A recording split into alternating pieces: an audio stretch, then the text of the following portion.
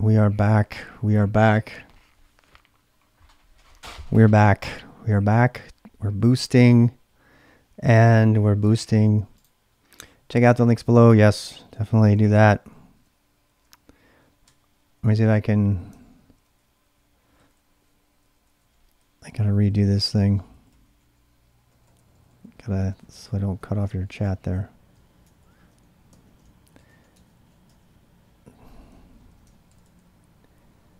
I think that's about it.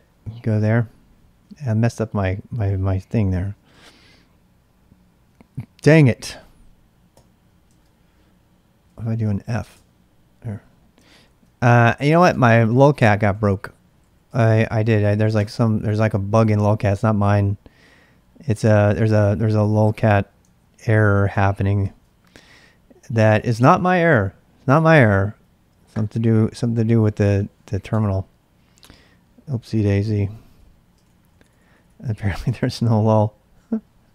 so today today is scripting day. We're gonna be doing shell scripting. I can't read that, so how about this? How about we this? Um, commands R code. Commands R code starting shell scripting. They are. Commands are code, people. Commands are code. I've been saying it for the last however long, 14 days, 13 days. Today is day 13. Uh, before we get going, just let you know, tomorrow is Saturday. We don't have a boost tomorrow. We don't have a boost on Sunday either. I'll be online coding like a boss because I've got lots of stuff to do for work and otherwise. Um, however, uh, I will be playing Shenzhen. Uh, I've never played it. I've never coded any assembly of any substance, so it's going to be fun. So if you want to get into electronics and you want to follow along and you laugh at me being the total complete noob, uh, I'm going to be playing Shenzhen. Um, uh, to assume that TTY supports special characters. Really? Did not know about tmux-use. Uh, I'll have to look at that. I'll have to look at that. That's really cool. Thank you, I am Valor, for telling us about that. Um, so, what are we going to do? Does anybody have any pressing questions before we get into this today? Because we got lots to cover. If not, I'm going to jump right into it. Somebody said I look like a skater dude, uh, a cool skater dude with this hat. They like my hat. Because I am a cool skater dude. I I was a cool skater dude. I was. I still have a skateboard. I skate all the time. I skated like last week. My longboard. Yeah, we have a really good. We have a really really great hill right up behind us here. Nice gradual hill. I was out longboarding, and now we have insurance, so so I can take risks again. Special characters and colors, really. Skateboard stream. Eh, I've been trying, Berlin. I have been trying, but Berlin. By the way, I don't mean to call you out, but oh my god, that sponsorship. I mean, do you mind me calling you out? So Berlin just sponsored me on GitHub for a remarkable amount that I I, I don't know if I want to embarrass him. Uh, I'm so grateful to that. And then I had to look at him going, well, they used to pay they used to pay fifty dollars a session for an hour. four times a month. So, you know, assuming you're getting the same value out of everything, uh, yeah, dude, I cannot believe. I, I, think you're my I think you're my highest paying sponsor right now. I really really appreciate that. Uh, and you go if you can't maintain that all your all your you know all your all the time, then then I totally understand. Uh, it does make me though. I, I'm kind of on the fence. This is a good starting thing. I am kind of on the fence about how much attention to bring to the people who who support you. I know that some people really like the attention and some people don't. Um, uh, oh, did you apply for the waitlist? well, there you go. I'm so sorry, but there will be no more private mentoring. No, if, if the closest thing to private mentoring, and I've actually been thinking about doing this off of the boost. So when the boost is over, since we're just shooting the breeze here, when the boost is over, one of the things I've been thinking about doing, just just just spitballing here, since you're all here for the boost, so this might apply to you, uh, has has been to do some private mentorships online. So we would do live streams of you working on stuff, and then we would work through it together, and I would help you through it. Um, I don't know, but for that, I'm still going to do something two hours a day every day that is not the boost. Uh, so I have to figure out what that is. Uh, we probably will go more deeply into coding Go, some of the more uh, medium to upper class things. We probably do some Kubernetes and Docker training. So there's some other things. We have some other things to do, but but there's a lot of streamers that are already doing this. This isn't unique. There's already a lot of streamers that are doing, uh, you know, online training uh, while people watch, and uh, volunteers tribute. It would have to. You would have to be. You know, it would have to be a certain type of person that's that's able to to put up with the ribbing and and and definitely able, willing and able to make failures, you know, openly for everybody to see. And and frankly, I think that's a good thing, right? Uh, being you know, not afraid of not knowing something. Um, the hard part about this is that most of my mentoring is really boring, as you can see in any number of the videos that I did. Most of the mentoring is giving you a challenge and then checking in with you to see if you did the challenge right. And that might be what we do. What we could do is we could rotate through the community. And so we could say any of my sponsors, and that includes the $2 a month sponsor if you can't pay two dollars a month to sponsor me, then then I'm sorry. I, I, you know, what I'm saying so I will still. I'm not going to hide anything, but my point is, is if you were in that group, then we can like rotate around, and we could give you a challenge and say, okay, how did you do on the challenge? And then you say, okay, I did it. Here's my challenge, right?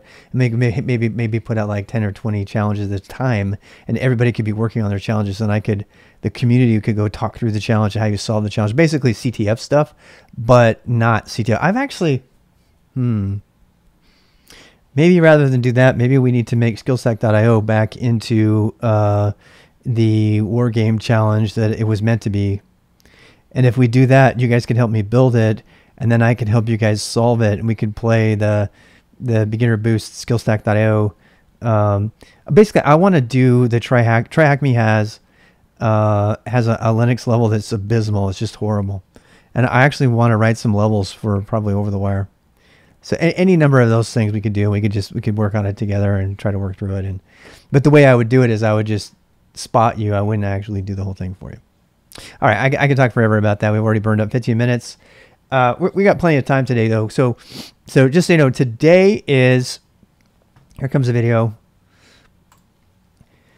All right, so today is scripting, programming. Our first day of programming, we've been doing it all along, but today we're actually going to talk about what that means and get started. Uh, and I will, uh, I'll put, I'll put these people out of there. Um, I don't know. Let's see here. So W, all right. Let's do this. Let's do. So we're going to do some scripting today. And so the, the, the course of the day is going to be, I've been saying it and I like, just get on with it. Okay, fine. All right, so we're going to do some scripting. Let me give you the outline. So where's the boost? You guys know, right? We're on day 13 today. Commands are code, creating shell scripts. So we're going to be doing everything about coding. We're going to talk about that. We're going to do POSIX shell as a universal command interpreter what that what it means to be an interpreter, all of that. We're going to create our first script today. We've already been writing scripts all, all you know a little bit, but we're going to actually do it. We're going to try lots of different interpreters, so Shell, Bash, Perl, just for fun, even Python if you want. Uh, we'll talk about Chmod and the shebang line, difference between running and sourcing a script, uh, putting executables in your path so you can run stuff from anywhere, and add it what that means and why that's secure and why you should never put dot slash in your path uh, blah, blah, blah. We're going to manage, uh, I should put that in there right now. Never put dot slash in your path. Uh, it's okay. So, and we're going to talk about jobs. So a running process and what that means. We actually talked a little bit about this another day. So we're just going to repeat that again. And then the, this day 14, that's next Monday. So that's in, uh, not next Monday. It's in two days. And from now, we got the weekend coming. And so you can come back and do that. But that is the overview. All right, so let's get right into it. Uh, and we can I can chop this video up as necessary. Um, so a lot of people are excited. People are in the chat, but they're too scared to let me read it because they're they're hiding. They're hiding. They're using the exclamation point. So if you don't know, if you can put an exclamation point, uh, there's no bot or anything, but you can do that and you can hide your stuff so it doesn't show up on my my chat box here. Um, let's let's just, just jump right in. So I don't know how many times I've said it. I'm going to say it again. Every time you execute a command, you're, you're coding. ls. Uh, let's see. So let's let's do something that's relatively useful. Uh, no hiding for me. so so let's say okay. So let's say I got my README there. We've already done this. So how do we show the first? Oh, go ahead, README. That gives me the first thing. So let's let's actually look at the, uh, I don't know. Let's, let's, let's actually write a little program here. Fails to hide. so we have all of these Zettelkasten um, directories here, and that's can't really read them. So we know that if we do head, we, we haven't talked about globs yet, but we know that if we do a head, uh, well, let's try a, a little, well, let's say head uh, let's just do one at a time. So we're, we're just giving an example. So then read me, right?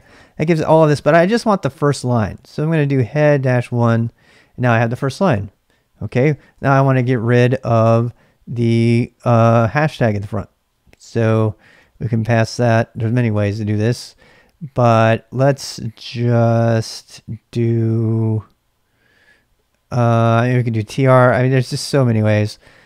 I don't like sed, but we could use sed. So to do sed s. You guys haven't learned sed yet. Sed sed takes some doing. It's a it's a it's it's it's not easy for for beginners to learn it. So that's one of the reasons I don't want to do it right now. Uh, it is pretty magical though. So that says delete off that first part. All right, so that's all well and good, right? Well, now I want to do it to another thing. So what if I put a star here? What happens? Wow. Oh, wow. I get them all. That's pretty cool. Um, okay. So I got lots of different things there. Um, but, you know, so that would be cool. So let's say we make uh, a script that we just want to, like, let's see here. Um, let's see. Let's do. I'm trying to figure out. Okay, so oh yeah, we have to redirect. I'm trying to. I'm trying to use stuff we've already used before. So redirect to temp um, headers. Right. So, and then we can vi temp headers. Again, that's a review of everything we've all done. So go watch the videos if you haven't. We've done all that stuff already. So we have this big old thing here. Uh, I don't like that it prints out every line like that. I wish it would not do that. How can we do that? So Oh, maybe let's grep it out. Okay, so we're gonna grep it out. So let's let's let's uh let's get out. Um, well, there is a better way to do this, but I'm not gonna show you right now. Head one reload. Okay, there's like so many better ways to do this. I'm trying to keep it simple though. So let's grep. We're gonna grep out all of the. We only want lines that have uh, begin with a hashtag and then we'll copy, chop those lines up. Oh, oh. The file is there, so I have to override it. Remember, exclamation point. Can you see that? There you go. All right, let's do it again. So that's a big old long command line. Um, and this goes temp headers. So there, pretty cool, huh? So it was like we did a lot of time. We spent a lot of time on that little command line, and I'm I'm going through this process because this is how this is the natural process of creating a script. This is how it happens. You have something you need, some bit of information or calculation, and you do it, and then you are like ready to do it again. It's like, man, I wish I had a script that did that, right? So we're gonna do that. So the so we're gonna. I'm, I'm not gonna go in any particular order. I'm just gonna go ahead and do this. Oh, hey, wait, thank you for the raid. Um, so, so here, here we are. We've got, um, we've got this really great command line, right? And what are we going to do with it? So, by the way, if you have a really great command line like this, uh, is a string to the left uh, of sed regex? Yes, it is. Mm -hmm. Yeah, we're in the middle of a, of a video here, but um, if, if, but we're actually doing coding today. We're learning how to scale script for the first time today. So yeah, maybe just recap real quick. I, I, thank you for thank you raiders raiders, but I gotta um you know, got to move on.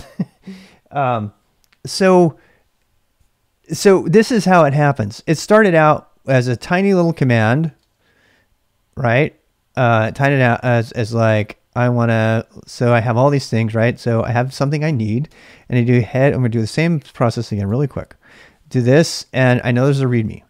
Like, oh, there's too much stuff. So first step, first things first, I'm going to eliminate it. And this is naturally how things happen, right? And you say, well, gosh, I need to chop off that, that hashtag.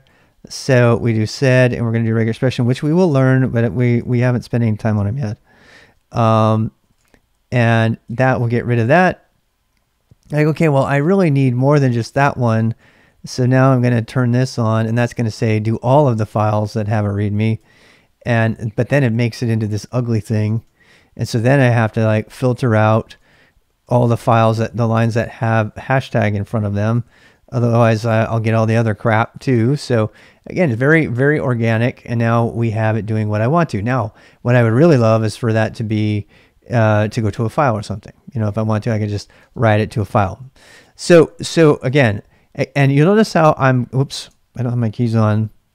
Uh, okay, so, so you'll notice that every time I did this, I built it up. So from there to there to there, you know, it's a modification. It's an organic process. And this is what's so great about the Unix philosophy and the command line is you build stuff up like that. And then you get this thing that's like kind of cool. Now you can just copy and paste this and put it into a script, right? Um, but uh, I'm going to show you a secret. If you haven't used any weird quotes in here, you can do this. You can say, you can stick an echo in front of there and whatever quotes you don't have, double quotes or something, and then you can redirect that into a file. And so now we can say, we can say, I'm going to redirect that to what? Titles.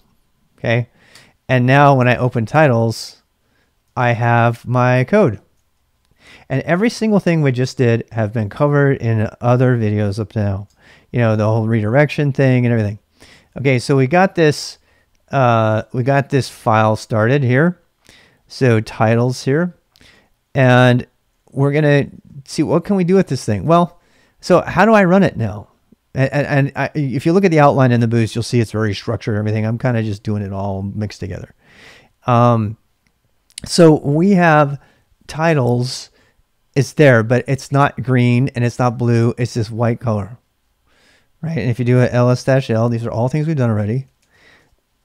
It's RW instead of RWX. What does that mean, people? It means what? If there's no X, what does that mean? We talked about it yesterday.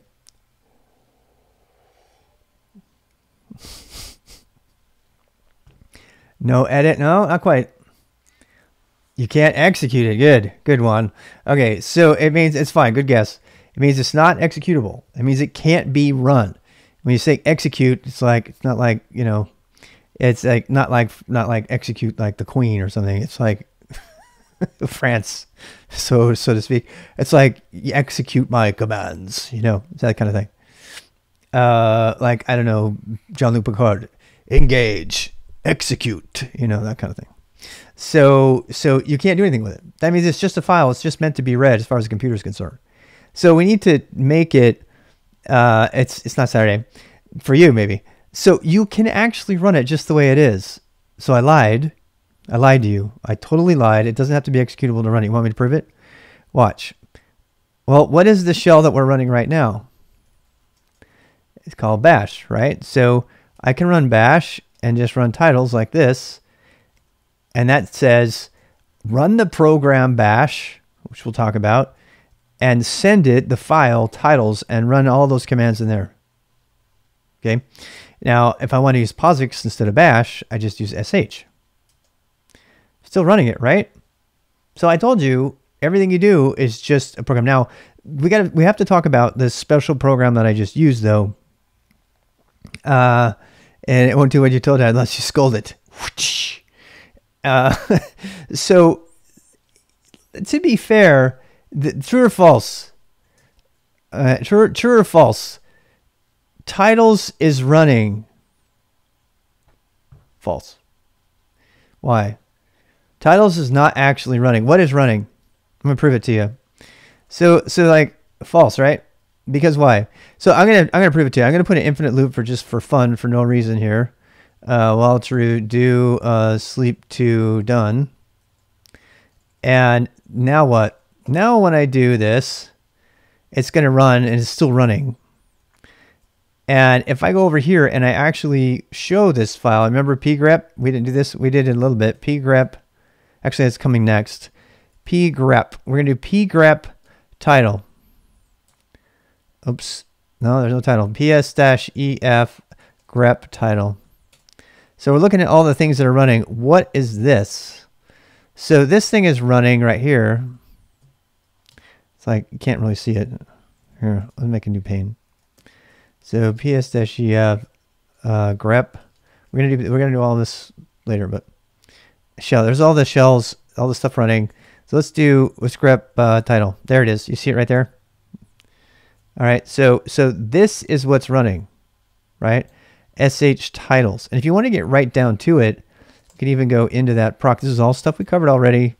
Remember when we talked about the proc file system? Like uh, slash proc is where all the processes are. And you can go look in here and you can actually ls-l, the exe, which is not real, it's a virtual file system. And you can see that the executable for process 3627424 which is our program. And if you want me to prove it's your program, watch this, ls-l cwd. This, this tells you where the process was running. So we can see the process was started from within the boot directory. If you want to see what was actually run, uh, you can cat r, uh, wait, so any number, any of these things that are here are all, uh, are all information about, about how it was run. Uh, you can even access this right here is direct access to the memory of the process. It's crazy. So so sh is eating it. Yep. So I'm trying to think of oh the command line. So watch this. So if I do cat cmd line, it told you this is a virtual file system. None of this is real. If I cat virtual files, it says sh titles, right? So it could say, um, uh, let's see, or uh, I don't know. I mean, sh it says sh comma titles, so there's kind of a thing being lost there. Um, but but you get you get the point, I think. Um, that you can read or arbitrate to the memory. Yes, you absolutely can if you have access to it. If you have permission to do that, you totally can. That's actually how you hack things. Uh, is by changing out the memory of the thing that's running or is going to be run while it's running. A lot of times people did, yeah, so so yeah, if, if I wanted to like slam it right now, and it, I might lose my terminal if I do this. You want to try it? Should we dare? Do you dare? We're not doing it. You know what? Let's do it in a let's do it in a container. We're not even doing this in a container. Oh my gosh, I'm such a bad person. So I'm going to use one of my workspace containers. Uh, mem test. I'm going to make a workspace container really quick. That with my new workspace tester. So now I'm running in a container. I'm all safe. So so let's go into slash proc and and see what's here. But yeah, so like if you let's there's nothing here. There's like there's only like three processes. Check it out. There's like there's only like a few. Wait, 109. It's now wait 48 still there. What's 48? There's only like only four processes because it's a container. So I don't even know what it is. ls-l exe. Let's go see what it is. Oh, bash. This is our actual shell. So you want to check the, this out. Watch. So we can go cat mem Oh, man. Oh, mem. Oh, mem. There's nothing there. It's not using any memory. Oh, well. Well, anyway. You can play. Okay. I mean, you get the point. So let's go back to my, my test here since we're for 14 seconds left. Pomo, I'm gonna I'm gonna recharge you a little bit. Yeah. I'm gonna recharge you, Pomo, because I'm gonna. This gonna be a long video. I'm sorry but it's going to be most. We got. I want it to be this one to be contiguous. So anyway, uh, the Norwegian word for feces is it really? Today I learned. oh my gosh. I, I can't focus now. Okay, so back to focusing. So you can run titles here and then you got your titles, right? Now let's go back and get rid of that loop. We don't need that. So what the point I'm trying to make is that you can run any commands in a in a text file by giving the name of the file to a special program called the interpreter. Dun, dun, dun, dun, the interpreter. Okay, the interpreter thinks C3PO. Well, of course I can. Do you speak Bocce? Well, of course you can. It's like a second language to me, sir. I, I'm conversing over 12,000 languages. What's, what's C3PO's job? What's his job? His job is to interpret for the droids like R2D2 who don't speak English, even though everybody understands him. And and then what? So so he's a protocol droid. His whole job is to translate. Yeah. His job is to translate not just languages, but customs and all kinds of stuff. That's what protocol is. Had a way of communicating things that must be done in a certain order, everything. So, and he's also an interpreter. An interpreter here's like, you know, like in Star Trek or something, you got the universal translator, right? Well, that's kind of a misnomer because it's a, it, it's a tra- translator is for written, by the way. I'm a real pedantic person on this. Translation is for writing. Interpreting is for speaking. So, or did I get that wrong? He's my trans. This is my personal translator, my personal interpreter. I don't know. Suffice it to say that the interpreter is the thing that runs the commands in another language, gives it, puts it into a different language. And so, what do we mean by that? So, what by saying that sh, oh, by saying that sh is an interpreter, what sh is interpreting is the lines in English of the commands that we can understand in the titles file, and it converts those, it trans- interprets those into machine language. Pretty amazing when you think about it. Actually, truthfully speaking, it converts them into at the lowest level system calls, and then the system calls are interpreted by the kernel, and the kernel interprets the system calls into binary, and the binary goes straight to the device. That's that's how it all happens. There's a lot of interpreting going on, and it happens at the speed of light, so you can't even tell. So that's what an interpreter is. So when someone says, "Is this language interpreted?" What would you tell them? Let me give you a question here. So is Python? Eh, let me just ask some questions here. Is Python an interpreted language? Yes or no? True or false? Is Python an interpreted language? Yes. Why? Because you can make another language with a Python command in it, right? So let's do Python. So we say, so say titles.p. Uh, yeah, there's a little catch there though, because every language is interpreted at some level. Uh, in fact, Python has bytecode, which is uh, which is um, compiled but I don't I don't want to go there. I for this for all, all intents and purposes, yes. So print hello, right? So so there, I'm going to use the Python interpreter. Uh oh, core dumped. that was fun. Uh, I don't think I've had that happen in a long time. What? There we go. That's much better. Python three. Good old Python. Uh, Python 3 is happier. All right, so what, what happens if I send titles.py to the shell when I cross the streams? I send it to the shell to the shell interpreter. It's like I don't know what you're doing. What if I try to do Python? I mean, I know I'm beating this dead horse here, but what if I try to do the other one with that one? No, I can't see. I got syntax errors.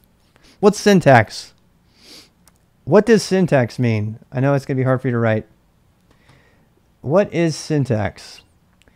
Syntax is how grammar rules. Good. That's really good. Syntax, the order of words in a sentence, the grammar rules, how things go, in what order interpreter can interpret the code. It can't, right? Because it doesn't know the syntax. So, um, so requirements of the tokenizer, yes. Woo. So if you don't know the syntax of a language, whether it's English or Python, you might make mistakes. It's grammar is a rough translation, but it's more precise than that. Syntax is like the colon goes here, uh, the period goes here, the semicolon goes here. Syntax error. So the syntax error means that there's something not right about how you're writing it, and the it can't even be parsed. It can't even be chopped up into little tokens like like Brilliant said there, and something else happened to it. So that so now you know what's going on. In fact, that's what the interpreter does. The interpreter parses that as fast as possible. Parses that all of that writing, you know, the characters, the ones and zeros that are interpreted from the characters, and it turns those into a whole bunch of tokens, and then it applies a syntax tree uh, with a bunch of rules about, and it converts that into logic.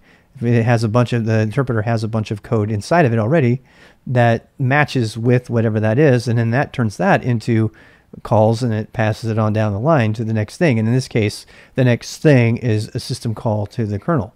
So, and then the system kernel calls are get interpreted as well, and then the kernel does this thing. It, it translates it for the devices. The devices get the ones and zeros the way they want, and then they the devices actually do their things, vice versa.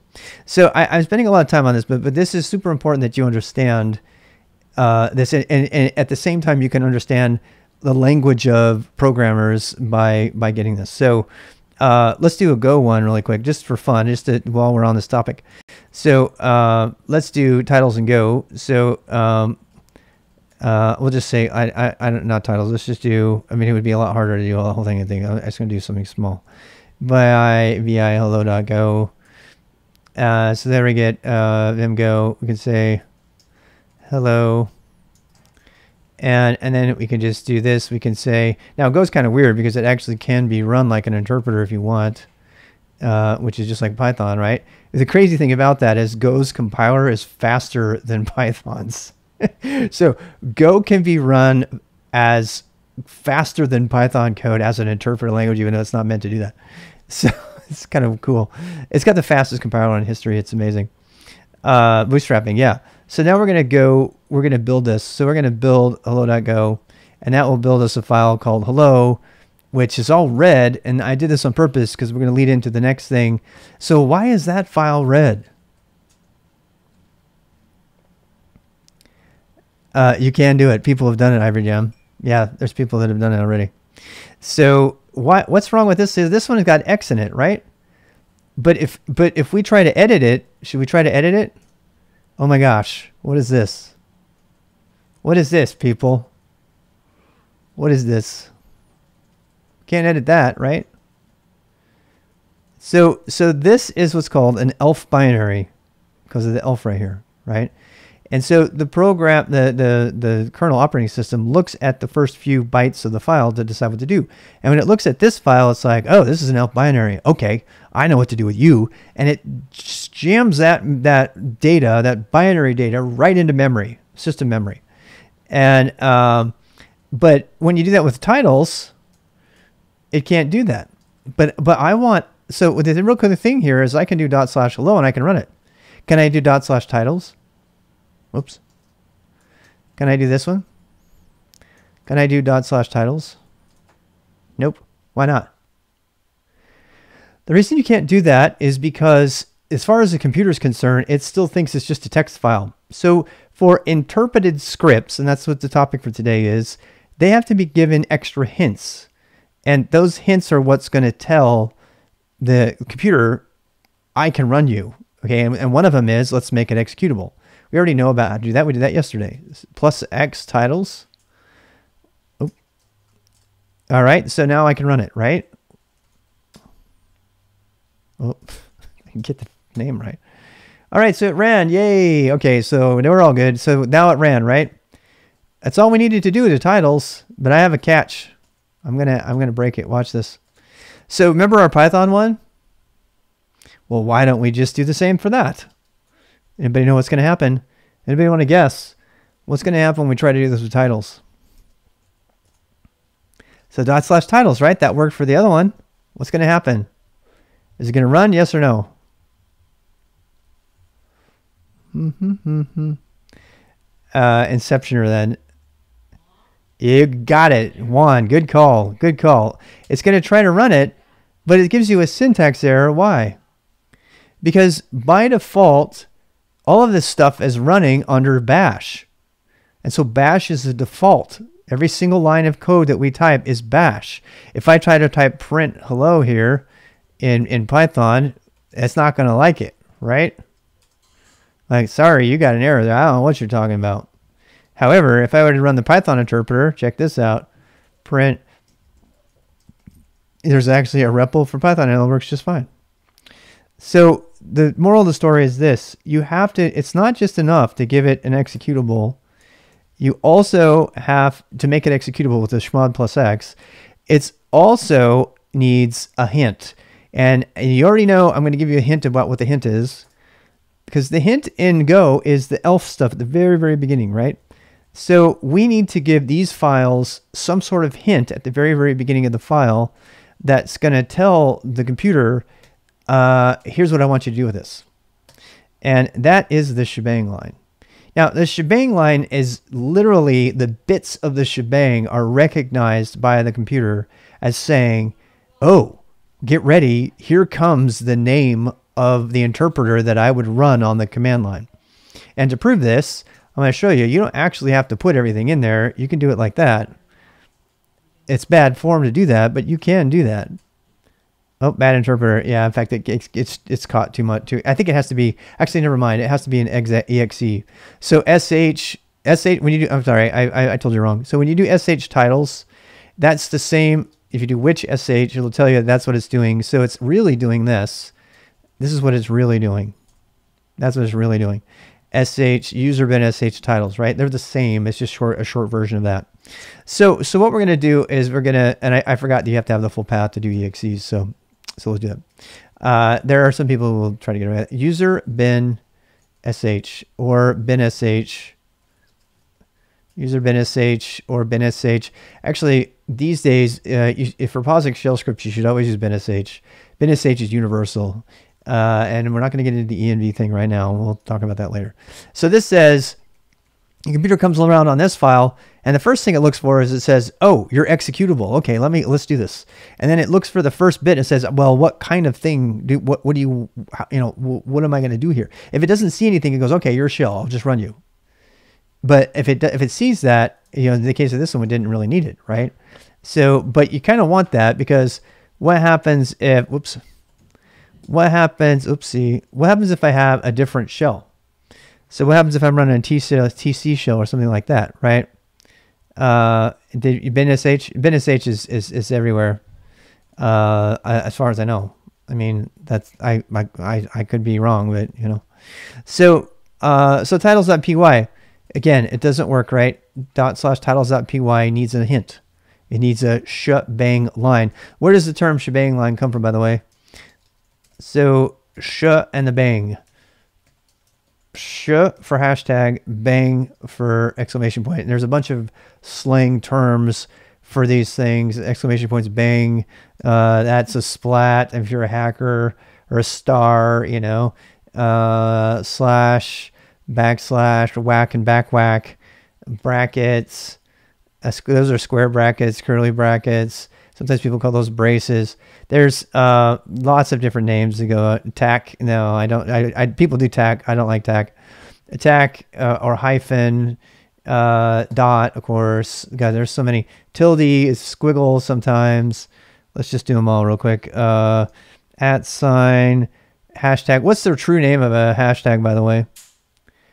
For 50 points, what's the true name of a hashtag? Octothorpe. Octothorpe. It is the pound sign, but it's actually here's here's another one. Here's another one. Okay, for for 75 points, what did I just type? And what is this? this is a fun one. I really love this one. Well, we're gonna come back to this when we do when we do ASCII. Nope. It is not an apostrophe. And it's not an octothorpe. The octothorpe we already did. What is this right here?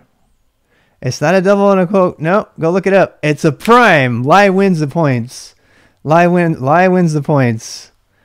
Lie wins the points. The actual character in the ASCII, it's not an apostrophe. We use it like an apostrophe and a double quote and a single quote, but the actual value is prime. It's prime. So an up and down quotish kind of thing is a prime. So prime and double prime, as in longitude and latitude.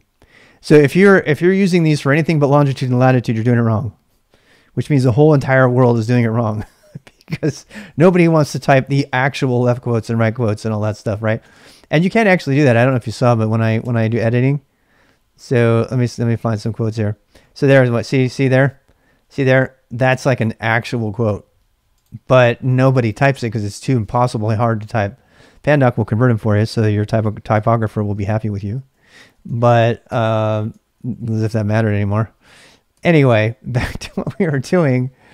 Uh, uh, backtick. Oh, backtick. Right, backtick. We didn't get that one in there. No, no. A good call. Good call. Okay, so, so, so, so, so, so, we're gonna do titles.py. So we got. this is clearly not a very good. That's not a very good shebang line, is it? we got we got stuck on the names of things. Okay, so let's make a shebang line. What do you think it is over here? Well, if you don't remember, don't guess. Um, wrap around quotes with Vim. Uh, we're gonna talk about it later. Uh, we did Vim yesterday. So we're we're on uh, scripting today. Welcome back to that. Um, all right, people. Okay, so we know there's Python on the system. We were know we know this worked, right? Python 3 title.py, right? We know that worked. But which Python is it? Well, there happens to be a command called which Python 3. And like, oh, okay, I'll use that one. All right. So now we're going to do which Python 3 titles.py and we'll put this here and the I'm just using my mouse. I know I'm I'm I'm ashamed. So so now what? Now can we just do titles? Nope. Why not? It doesn't know where it is. So we're going to do dot slash titles dot py and it gets it. It does it. All right. Now there's a couple. By the way, it's it always annoys me when people put dot .py at the end of their files. Uh, now we kind of have to because, you know, I I hate it when people put there is in it's a non Unix Linux thing. It is a it's already schmotted. It's a non Unix and Linux thing to have extensions at the end of your executables.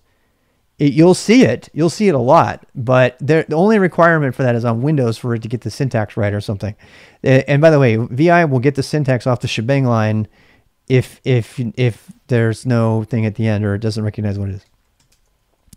Uh, move titles. You can, but that will. Thank you. Good one, Juan. That will blow out our bash titles though. So for this moment, I'm going to leave it separately.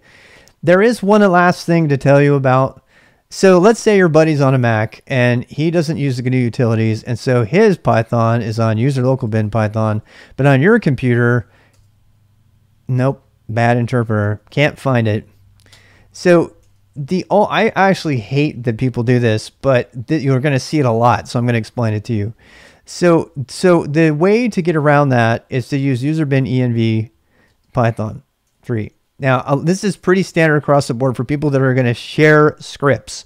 If you're not sharing scripts, please, please don't do that. It's really, really insecure and it's a slower, it takes a sub process to do it.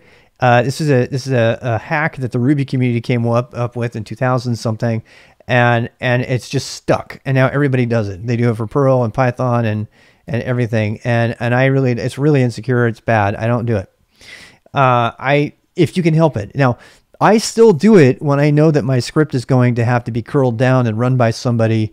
And you know but any any case where I know the person is going to be modifying the file and they can spend 2 minutes to change the line fine I let them change the line. But if if it's really really got a broad audience and it has to just work I will break down and put that in there. But you know, it's usually better for you to use uh, you know binsh, uh, you know user bin bash, um, you know, those kind of things. Okay, but but I, I do want you to see it because it is it is quite quite prevalent out there, and you'll be wondering what's going on.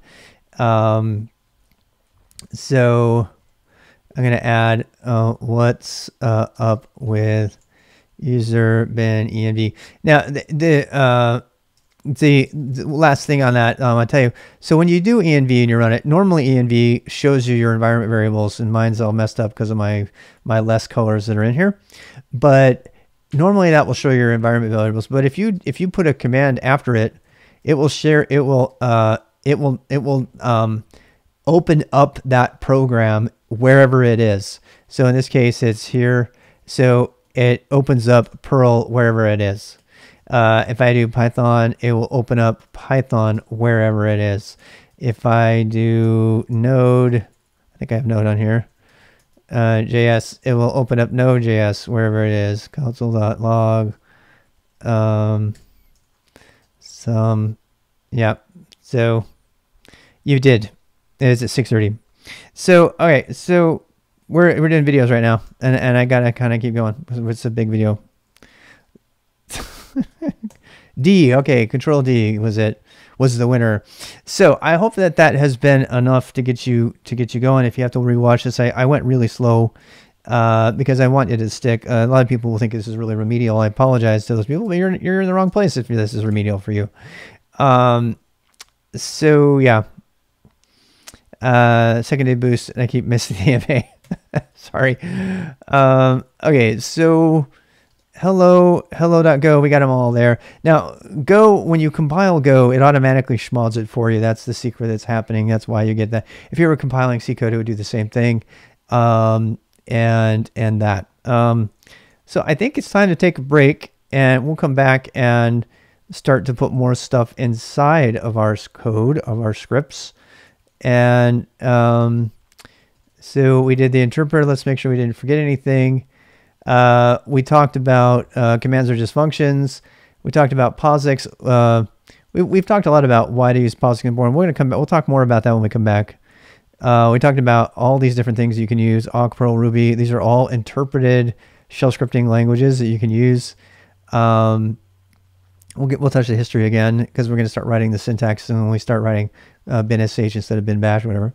What does interpreted mean? We tried all of these things. We actually tried it with uh, Python instead. So, so yeah, Python 3 or whatever. Um, I'm going to leave Perl in there. Next time I'm going to do Perl. Python 3. Just for bonus.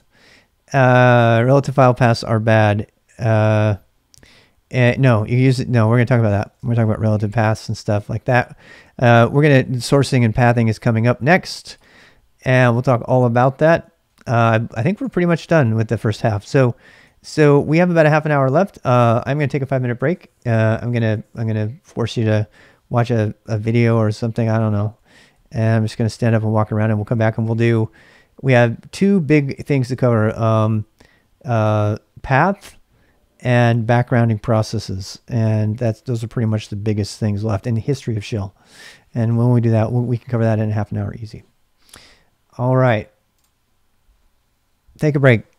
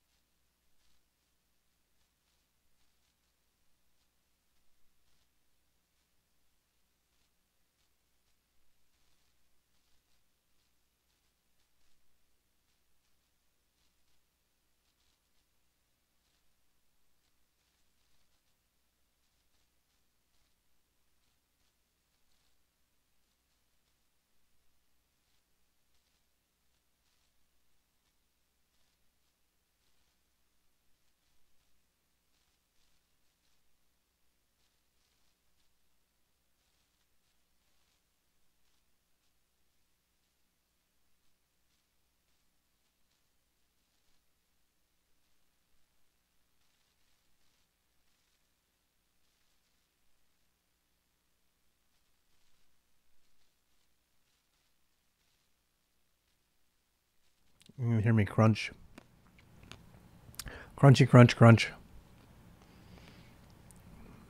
My Pomo is so mad at me. Not too mad. I need to make it so like it gets it turns like into something different. it gets even madder.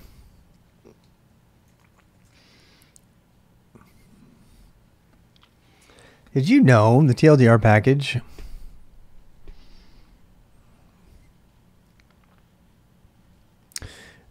Wow. That looks really cool.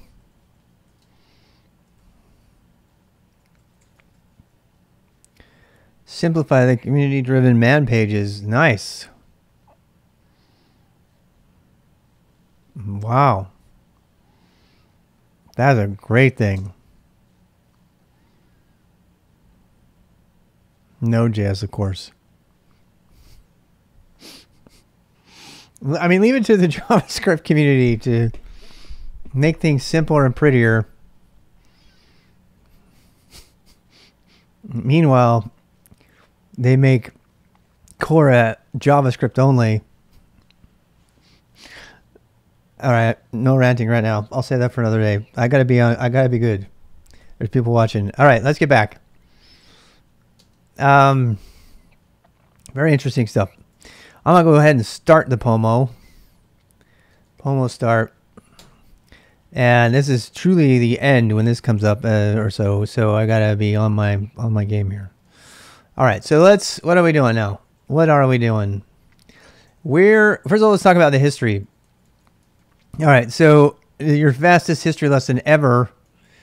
So shell so POSIX shell was the very first shell, uh, or Bourne shell, B O U R N E, uh, was the first shell. And you can go read about this again. The purpose of the boost is to tell you what you should know about, not everything about the thing. Uh, so you should probably know about the Bourne shell, what it is, where it came from. Uh, you should know what POSIX means, where that word came from, what is it, what is it about, why would you do POSIX shell? We're going to talk about that. That's important I have a particular take on that. And uh, and where it came from. Actually, uh, Shell, a lot of the syntax from Shell came from a language called Algol, A-L-G-O-L, G-O-L. Uh, and that's where we get the weird syntax that we're going to see a little bit later on Monday. Um, but because there's been languages around for a long time. Um, if you're uh, a fan of Bryan Cantrill, he actually obsesses over old archaic languages. He talks about them in Rust. Is it time to redo the operating system in Rust? It's a video which I strongly encourage you to go watch. It had me laughing like crazy. One of my favorite videos of all time, uh, including his discussion of the dark times of object-oriented programming. But I digress. Anyway, so Shell started at Bourne. We also have uh, a bunch of Bourne Shell, POSIX compatible shells today uh, they're more common. So Ash and Dash, Almquist shell, and Debian Almquist shell uh, were brought about. Um, and by the way, Bourne shell is not Bash. Bourne shell, uh, Bash is Bourne Again shell. So it was a retake on Bourne shell. Uh, Korn shell, KSH, nobody remembers this, but KSH was all the rage for a very long time. There was other shells, TC shell, C shell. Yeah, there was actually a shell where every command was a C line. No kidding. and there was another tickle shell, TCL. It was a different language. Anyway, just be happy that we got the ones that we did, uh, despite their sort of quirky syntax. So, but I need to tell you that there's a really important part of this history. Uh, Bash uh, was thrown off of Debian uh, and it was only allowed to stay on Debian systems as an interactive shell. And I don't know the full story, uh, but last I heard, rumor has it that it slowed down boot time so substantially that they threw it out and they went with Debian Almquist shell, uh, which is just like kick butt fast. It's like spectacularly fast. Even though it has more subshells and stuff, it's still really, really, really fast. And that's the shell we're going to be using today. Now, most systems, binsh, will be linked to those shells. So if you do binsh, you'll see that it's pointing to one of these other systems. Okay. Now, if you're on if you're on BusyBox, uh, you'll see that that file is not. So you'll see that it's actually a here's a here's a giveaway right here. It's a it's a hard link to a program that's actually called BusyBox. Uh, and so yeah, we can do we can do this. We can do this uh, ls which BusyBox, and you'll see. Oopsie dash l. Uh, and you can see that it's the same exact file because it's using multicall. So it's not always that way. Sometimes it's ex some extra thing that's been install installed. If you're on an actual Debian system, uh, it's it's it's always going to be Debian Almquist Shell or Almquist Shell. Uh, yeah. All right. So what else we got? Um, so I mean, we have we have lots of stuff there to look at. Uh, I mean, I I, I don't have to. I mean, look, there's 2020, right? So let's do this. Let's let's run Ubuntu. Well, I can show you on here. So let's let's look at how big um, uh, bin bash is. So look at that. 1.2 megabytes. All right. So compared to dash, uh, which is a, a link. So we have to do uh, bin dash. Wait ls dash ls dash wait dash l bin dash. So dash is 123k compared to 1.2 megabytes. Uh, as much as i love bash syntax and all the stuff it added on um, it's just not worth it particularly for a beginner. Um, sometimes it is so, so you just so it's good. You should learn this is the bottom line you should learn POSIX first POSIX shell first and get really good with it and then you can know very specifically what the difference between POSIX is from bash. There's a lot of bashisms that'll sneak in. They're so close. So I use one bracket or two brackets. Why? What's the difference? All understanding all those subtleties is a lot of work. So just start by learning POSIX first and understand the dangers of POSIX shell, which has some really significant dangers. And we'll go through all of those next week. And and then layer on top of that bash or z shell which is Korn shell compatible. Korn shell i had to put there in the list because that's what led to Korn shell was the first shell that said no we want something more. And they they they based it off the other one and it became the standard for a very very long time. Uh, okay so that's the history. Uh, z shell actually tried to redo bash uh, early on in the process and they've been going at it since the 90s uh, Zshell got, uh, I, I believe, I don't know, but Zshell got, I believe Zshell got a lot of attention recently because it's not GPL version 3. Uh, I, we know for damn sure that's why Apple went with Zshell instead of instead of uh, GPL v3. In fact, the, there's substantial evidence to suggest that because because Bash on Apple was locked at version two, uh, which was the last version to release under GPL v2 or something. And so the people at Apple were like, no, we just do not want to mess around with those new GNU licenses, which directly affect hardware uh, and were designed to affect hardware. And so they've abandoned it and they went with Z Uh, it's not because Z Shell is better. Z Shell's got a lot of really cool things in it. I really love it.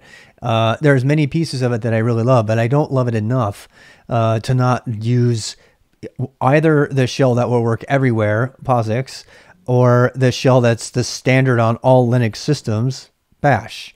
Uh, so if you know if somebody's going to use Z shell for your interactive shell, fine. But for scripting, why would you? Why would you? Why would you do bin zsh? That doesn't make any sense at all.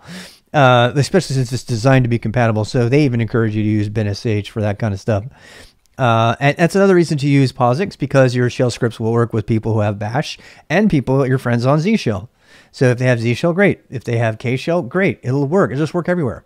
Uh, for 10 years at IBM, I was required to only write in POSIX shell at pain of death, you know, if you if you didn't, because it had to run on all kinds of different systems. That's what the standard is about. Uh, all right. Uh, I don't know what you guys are doing, but go for it. Uh, okay. It's symlink to X. Uh, BinSH. Oh boy, it's a link to Bash. Yeah, if, if some people have done BinSH links to Bash, it's one of the reasons I hate Manjaro. Uh, it's it's a stupid decision, a stupid decision to tell people that running, unless there's something I don't know about, maybe it has multi-call uh, detection that is running as SSH and runs in SSH mode. Maybe, But why would you bloat everybody else out that thinks they're getting regular shell? You saw the difference, you know, almost, you know, anyway. So just don't do it. Yeah. Yeah. I, why are you talking about that? We talked about that yesterday. Don't talk about editors today. we did a whole day of editors yesterday. All right. So, um, uh, difference between running and source. Okay. So, um, I don't know which one to do first. I think let's do let's do running and sourcing a script right now. All right, so let's do that first. Um, running and sourcing a script. So uh, I'm gonna put a mark here. So to run and source a script, um, I mean, if you're to talk about stuff that's not on topic, do it with the exclamation point in front. All right, so um, here we go. We've got um, we've got our titles, you know, the thing that the, the little program that we're running. I didn't even really preconceive this thing. It just works. But you notice how I have to do dot slash titles, right? Now, what if what if I want to run this program? What if I just type titles? Why can't why doesn't that work? Well, it doesn't work because it can't find it.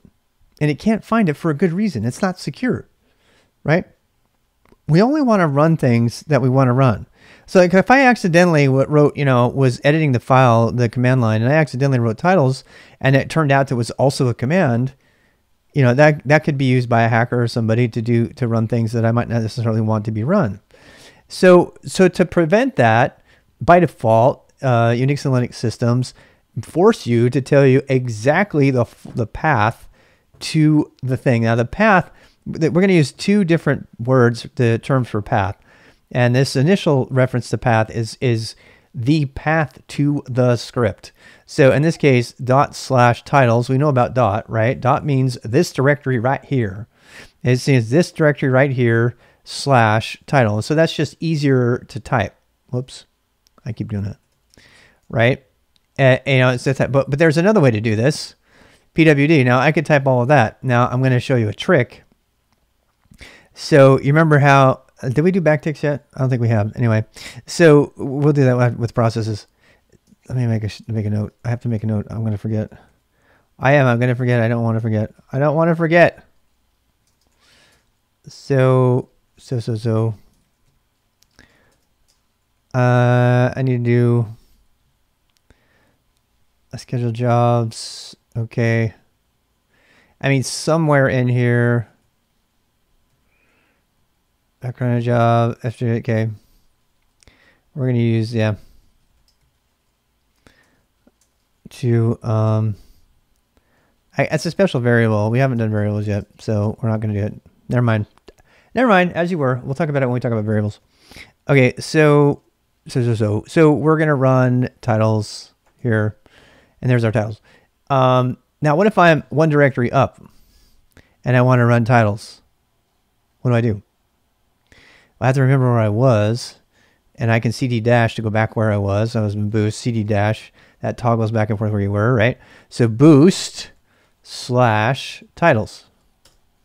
I didn't have to write a, why didn't I have to write uh, a dot there? And by the way, look what it gave me. It gave me all new titles. Why? Because I'm in a different place. I'm in a different directory now, right? So it ran the program, the current working directory the present working directory, whatever you want to call it, is is right here, you know, with all this other junk in it. And so it ran the program from that other place, but it did it in the context of where I am right now. Right? And and so the path had to change. Now notice I didn't have to put a dot in for there. I could still do that. That would mean starting from this directory, go into the boost directory, and then go into the titles directory right? And now I've got it. So that now you can you can do this all the way. So uh, I'm just going to show you. I would never do this, but you can type. This is called the full path. You type the full path to the thing boost slash title, uh, and that will run from here, right? And the thing that's cool about that is, if you run that, you can go from any, you can go anywhere. So let's say I want to go into Zettelkasten directory. Now watch this, man. Watch this guy. Yeah, I know. Yeah, but we don't know about variables yet, so pretend like you didn't see that. Um, so here's one. Look at all that, man. Look at all. That's all the titles of my entire Zettelkasten. with that one script. Now, wouldn't it be convenient if I didn't have to type the path every time? And that's where the path environment variable comes from. So here is uh, the path environment. This is all my path. So these are all of the different directories into which I can put a file, an executable script or program that will run if it's found in the order of priority. Okay, and when we get into customization, we're going to really show you how to do some cool things with your path uh, so you don't get redundancies in there and stuff using path prepend and append and stuff. But in, in this particular case, what we're going to do is um, we're going to put that title into, we're going to put that titles program someplace that is in one of those paths. Now, something else I can do is I can add this current directory to my path. And we haven't talked about the path at all yet. Uh, we will later, but I just want you to get the understanding that that's what's going on with the dot slash. Uh, you know, I'll just make a quick note here. Be very careful with your path. Please do not do this unless you're in a container. I wasn't even going to show path today because I know people will break their path and they won't be able to do anything. which is really funny. And you only do it once, and then you don't ever touch path again.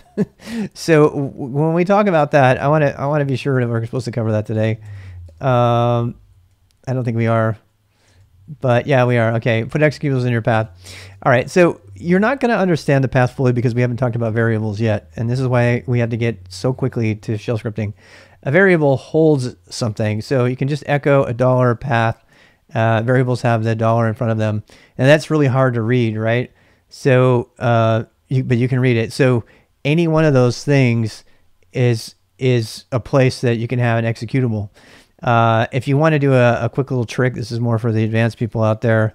Let's see if I can remember it. Uh, this is a this is this is a, a really a common trick. I'm going to replace the slashes with uh, uh, with backs with line returns. Um, did I do that right? I always forget. Did I do it right? I don't think I. I don't. Oh wait, it has to be. I think it has to be this. Yeah. There. Oh, we have to do. No, we have to do um, print. Printf. No, we have to do echo dashy. I I've lost everybody. They're like, why are you doing this? Oh my gosh I think I have to have two backslashes there. Yeah, there we go. Um, so actually we want to replace that. There we go. So that that says instead of showing this guy, all right, look at how many times to took me to get that. I'm, I'm getting better. I, I almost remember every time, but that's called a parameter expansion. And they're some of the sexiest things you'll ever do in shell, uh, but it's not time yet. So, but I did want to show off and show you that. It's really fun. Uh, POSIX or Bash, yes. Okay, so Uber King we're talking about shell scripting, not your interactive shell. I want to say that again. Your interactive shell can be Fish, Z shell, whatever you want. Bash is the default. Your shell scripting language is a different choice.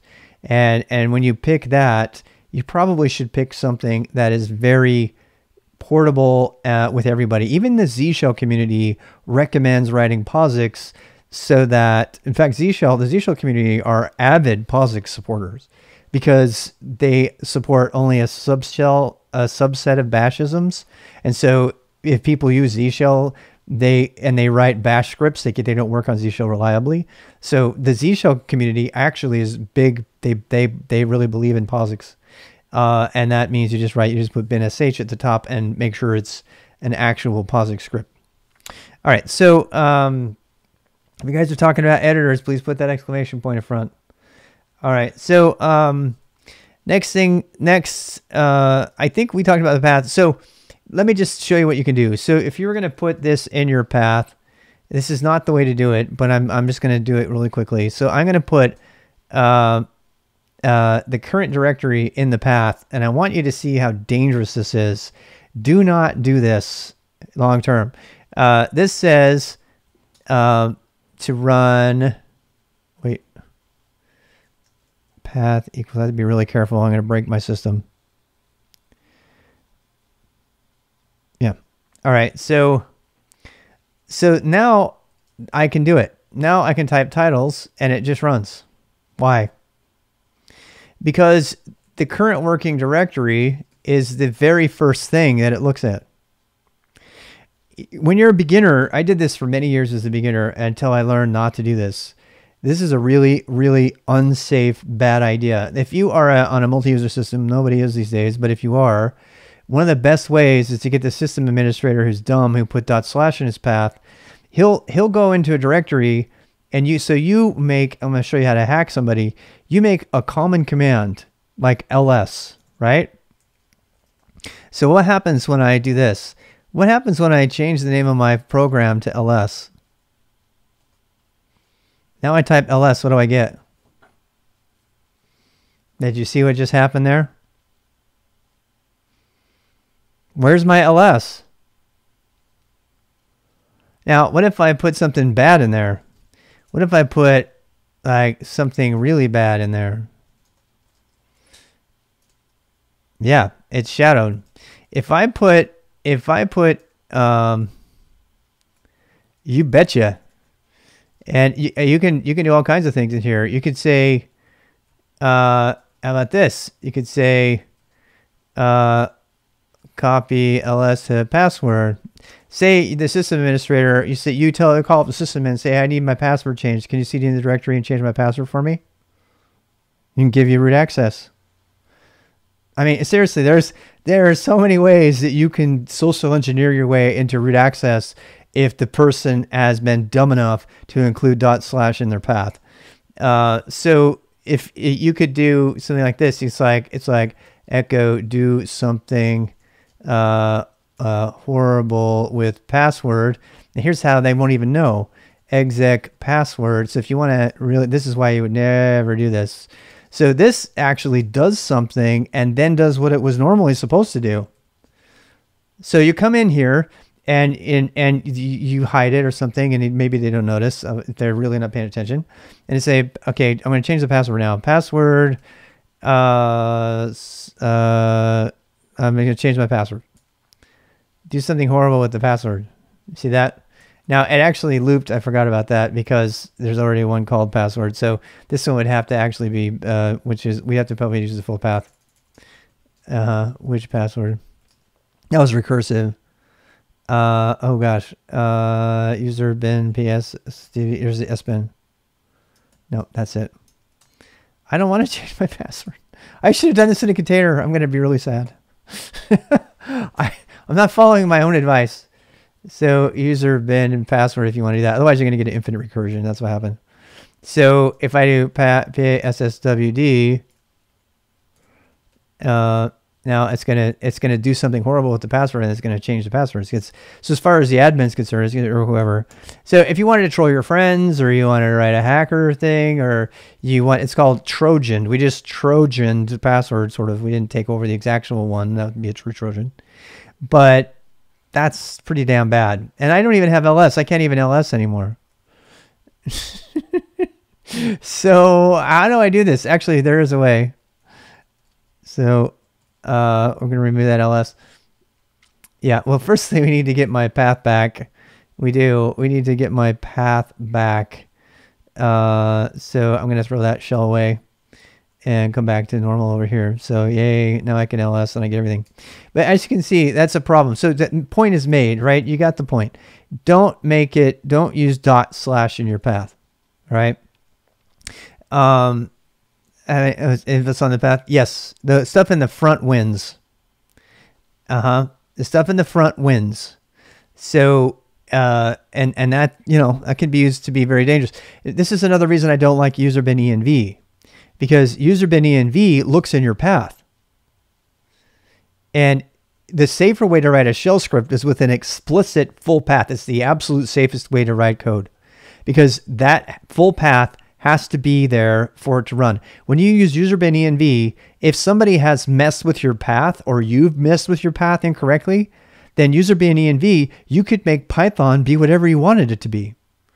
You could put it, you could somehow get Python in the path ahead of the actual Python. And then you could have it do something bad, and then you could have it run Python so they never know.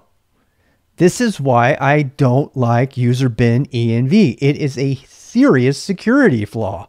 If if it, people are pulling down scripts and running them on their s- systems without even checking what's in the script using user bin env because it works everywhere. It's very very dangerous to do that. And, and I don't care what anybody tells you. It's a really, really, it's as bad as putting dot slash in your path to do that. So yes, it would have to be taken advantage of. Yes, you can get around it and find your way to safely, but but why? Why would you open yourself up to that risk? I just don't understand it. And people do all the time, and I I it just that's a really bad idea. And now you understand why. Now you can tell somebody, well, user bin env opens you opens you up to path exploits. That's all have to say. I'm like, what are you talking about? Well, yeah, I mean, I can put Python in front of there anywhere in front of the path, and it'll run my program, and then and you'll never know the difference. All right. So now you understand because you understand how the path works. Um, so the next, uh, or you can take advantage of people who don't know this. Whichever one, it's up to you. Um, so, so the next thing, the next thing is going to be, uh, hey, look, it's Sinner Boost. it's 21 seconds left. It's like my Tmux is telling me that it's it's it's Sinner Boost Day. Why didn't anybody notice that before? I just told you. I just told you how to sin with the Python environment. So I guess sponsor of the. Oh, now it's the Ginner Boost. Look at this. It gets even better. Now it's the day of gin, gin rummy or gin and tonic, whichever one you want. One second to the Ginner Boost. All right, so I think I think we covered pretty much all the the general getting ready to write good, safe scripts. Uh, but uh, that's a great emoji, Juan. Um, so let's go back and look and see what we missed. Um, I know we need to talk about backgrounding processes. That's coming. Oh, which and type. Okay, so let's talk about that really quick. We already talked about which, right? So which ls, right? Um, cheers to the Ginner Boost. yeah, so we have which ls, user bin ls. Um, if we have which, you know, hello, it will, it will, there's no hello there. Now, something else I want you to see though is type. So type will give you the type of the thing. So I want you, this is really common one. You can probably look at this on your own system. So I want you to see that which always returns the path in the, the executable to the executable from your path priority. Always. It never tells you what it is. And ls always tells you more details about what the thing is. And so I want you to be able to think about the difference between these two right away. Because one of the differences, the major differences is this.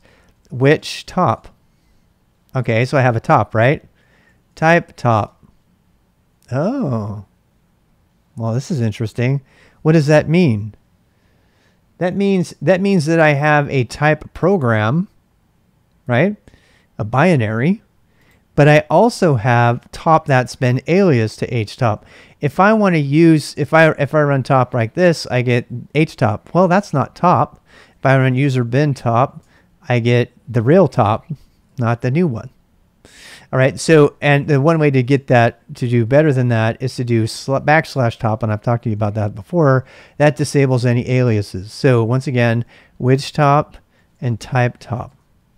And you can actually use these things to, uh, yeah, you can use these techniques um, to, in scripting, to tell if you have a command so you can check for dependencies. So if you need like YQ or JQ or something, you could say, do you have JQ? And you would do the command. In my case, I use top. I use type all the time because I want to check and see if they have it. But which is a more reliable way. Sometimes though, the people have made things like LL. You probably have LL on your system. Most people do. Uh, as an alias, but it doesn't exist. If you type which LL, it'll be like, I don't know. I never seen it. I don't know what that is. So like I have one. Which one? Which one do I have? I have one called Z. I think. No, Z's a script. So let me see if I have one. Uh, W. Aliases. I don't know. I don't know which one of my aliases. I, I can go find an alias. Oh, wait, wait, wait, wait. Here one. Which K? Oh, I do have a screen. I'm trying to find what I don't. Git. No, I have a Git too. I I because I, I, don't like aliases. Uh, no, my my ls is an alias. Yes, but I'm trying to find an alias that doesn't also exist. So uh, type ls. So I've made my ls so that it always shows color, and it always does human readable. You can take over existing commands this way and make them do what you want. Kind of nice. Yeah, I don't have it. A lot of people, LL is the common one. So let me go actually go see. Uh, and we're getting kind of close to the end here, but um, so I redid all my bash RC because we're getting ready to do it. It's down to one file. So here's a bunch of them. Okay, so so I have an alias for D for Docker. Oh, well, there's one. My question marks. My question marks. Those are aliases. So that's going to be hard to type, but type question mark is an alias to duck. Okay. How about this? Which is there a question mark command? No. Here's one that'll freak you out. Which left bracket? That's actually a command, people. We're going to talk about that on Monday. That's an actual command. Mm-hmm. so uh, you type like, what is it? It's a shell built in, but it's also a command. I know. You're like, what? it's it's pretty amazing. That's some old school. There's some good history there to talk about. It's kind of weird and esoteric, but we're to talk about that until we get to conditions, which is next week. So we still need to do background processes, and we only have six minutes. So let's do that. Um, so backgrounding processes, managing jobs. we talked about managing jobs before uh, when we talked about uh, getting your terminal back and all the fancy things you can send to your terminal, controls suspend and all that jazz. We talked about it a little bit back then, but I want to hit it again. But this time I want to talk about it purely from the perspective of a running program. A program that is running, remember we did while true in our title? A program that is running is a process. A backgrounded running program is a job. And, and uh, strictly speaking, foregrounded too, but but backgrounded are generally referred to as jobs. That means they're running in the background. You're not aware of them. They're just happening and you're being notified about them. Uh, and so there are many ways to background processes. Why would you do this? Uh, what's up with that? And as you can see on the system at any given moment, there's, you know, there's like tons of of running processes. These are all processes. There's my OBS. You know, these are all processes that have been backgrounded that may or may not have a front end with with them. Okay, so so we've got that. We've got we've got a backgrounding process. Let's talk about how do you background? Why would you background something, and how do you background something? So why would you background something? You don't want to background a process unless you have some reason to run something in the background. So most of the time, most people today do not have a need. Please, please don't forget your exclamation points. You're kind of throwing me off. Uh, so for backgrounding things, you want to make sure that you need to have it in the background. And most of the time, people don't need that. Most of the time, you just need another window. So I can have fishies over here, and I can switch to another pane, and we'll talk about Tmux eventually. But for all intents and purposes, Fishies has been backgrounded, but not really. I can just switch over and I can go back to it. Uh, uh, and so I, I, my, my, my, my, uh, my family's here. They're being noisy. I'm sorry. so, so here we've got, got Fishies running, but it's not running in the background, right? Now, I don't know why you would do this, but you can actually run the Fishies in the background. You put an exclamation, you put an ampersand after that, and now Fishies is running. Can't see it, but it's there. It's running. Fishies is running in the background, and I can for- fast forward that. I foreground that, and now I got my fishies. Another thing you can do with it is uh, Control Z. Control Z, put fishies in the background and stop it. Now, if I want to bring fishies forward, I put foreground and it comes back and it's still there. And I told you about how a lot of people will use Control Z uh, to get out of VI and they think it's still there and end up having a bunch of stuff running that uh, that are that it's not good, and then like I can't get out.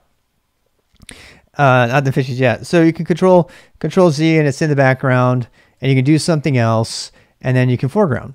Now that particular thing is very useful. So the other day I was editing a Zettelkasten. I have a script, and I was, I was editing a note in my Zettelkasten, and I wanted to go out and get something and look at something really quick. You can do that in VI, but I, in that case, I wanted to just get now. I could also, if I didn't have tmux on there, I could just open another pane and go back to it. That's what I normally do.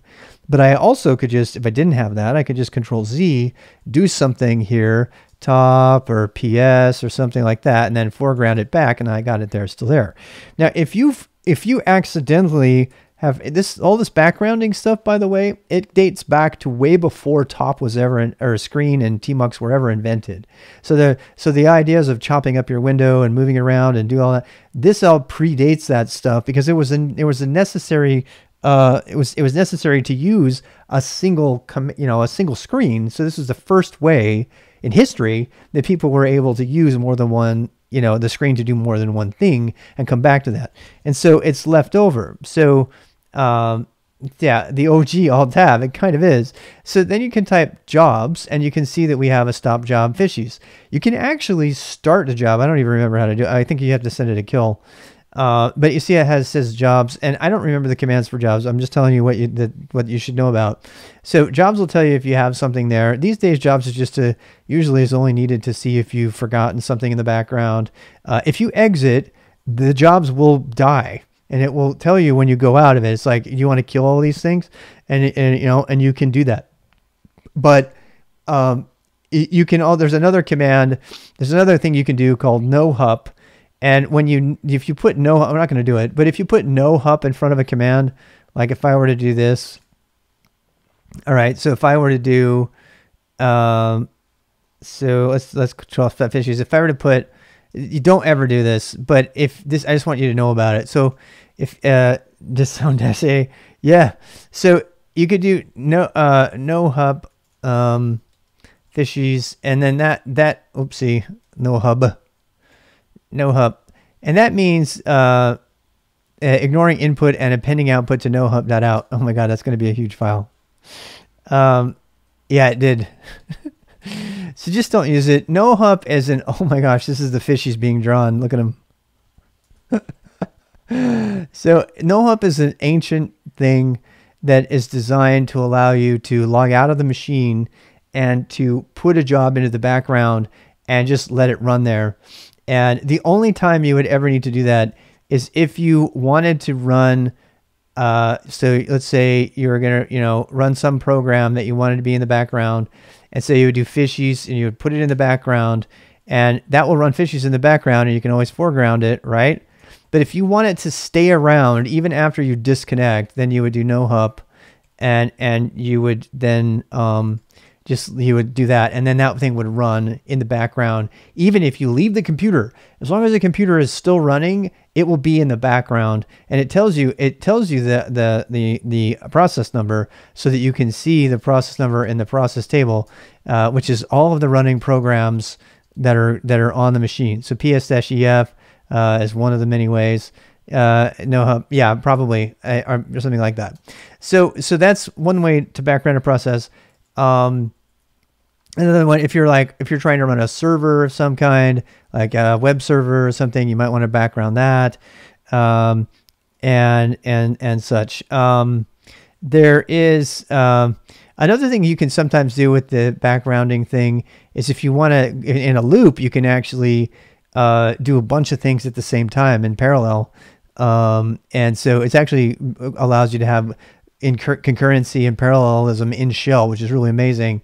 And I, will show you uh, the difference between uh, rendering like 800 markdown pages as HTML uh, with ampersand and without it. And it's like crazy fast if you add it because it does them all at the same time. It makes them all into the background and they all run at the same time and then they all end and it waits around for them to all finish.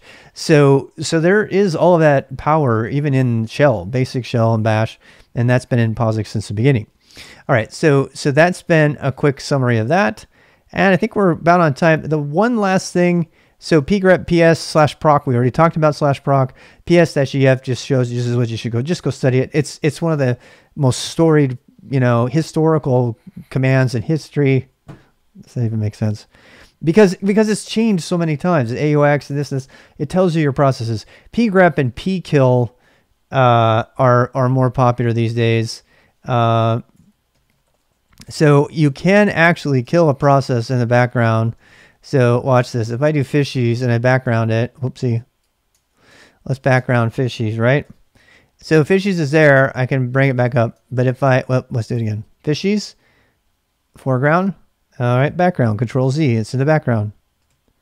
Why does it keep turning off my keys? Anyway, so so it's still there, right? Jobs, it's all there. But now I'm going to kill it.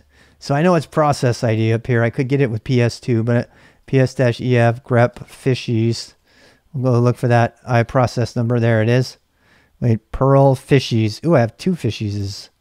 How come I have two fishies? Um, oh, that's right. I have another one right here. I have two fishies. I forgot about that one. Okay. So we're going to kill it. Yeah. Right. So how do you kill a process? Uh, you kill it. So you do kill and you give it the process ID. Be very careful with this command because it'll shut your machine down. If you get the wrong process. You could boom and the jobs. Do I have a job still? Oh, my fishies are still there. That means, oh, wait, my fishies didn't die. Why didn't my fishies die? Hmm. Well, I might have to be a little bit meaner. So how can I be more mean? So let's do kill dash H fishies is we're gonna do uh yeah I know about dash nine so let's do kill uh what is it kill um what is the what is the command to give you all the signals? Is it dash H? Man kill. Man kill. Oh, dash L. There it is. Man kill dash L.